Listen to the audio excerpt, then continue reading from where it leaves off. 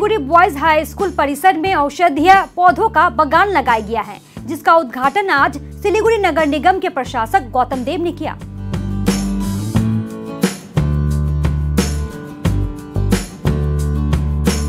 Siliguri boys high school में औषधीय पौधे लगाए गए हैं। इस औषधीय पौधे के माध्यम से स्कूल के बच्चों को चोट लगने पर उन्हें तुरंत प्राथमिक उपचार दिए जाएँगे।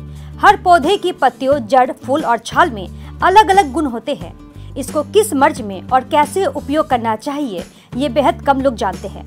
इन्हीं विभिन्न गुणों के कई औषधीय पौधों सिलीगुड़ी बॉयज़ हाई स्कूल परिसर में लगाए गए हैं। उपचार के साथ साथ छात्रों को हर पौधे और इनसे दूर होने वाली बीमारियों की पूरी जानकारी देने के लिए इस बगान को तैयार किया गया है। आज प्रशासक गौतम देव ने सिलीगुड़ी बॉयज़ हाई स्कूल में इस बगान का उद्घाटन किया। आने वाले दिनों में यहाँ और भी पौधे लगाए जाएँगे। स्कूल के प्रधान अध्यापक उत्पल दत्त ने कहा कि जरूरत के हिसाब से छात्रों के प्राथमिक उपचार के लिए इन औषधीय पौधों को इलाज के लिए इस्तेमाल किया जाएगा उन्होंने कहा कि पौधों के गुणों से अवगत कराने और आने वाले दिनों में इस क्षेत्र में छात्रों के बीच उत्सुकता बढ़ाने के उद्देश्य से इस बगान को तैयार किया गया है এই উত্তর বাগানের মূল ভাবনা হচ্ছে ছাত্রদের কাছে বাচ্চাদের বিভিন্ন রকমের ঔষধি গুণাগুণ বিভিন্ন গাছের এবং তার সম্পর্কে আরও ইন্টারেস্টটা জাগিয়ে তোলা।